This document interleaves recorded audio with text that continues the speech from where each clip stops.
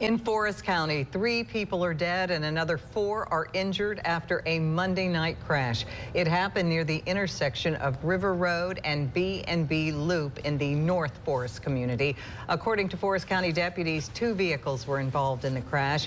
Forrest County coroner Lisa Klem said the victims are two 19-year-olds and one 17-year-old. They have not been identified.